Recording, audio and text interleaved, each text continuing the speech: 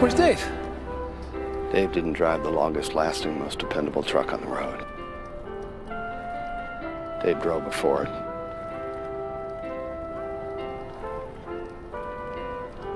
Twinkie? yeah Chevy Silverado. From the beginning of your workday to the end of the world. Chevy runs deep.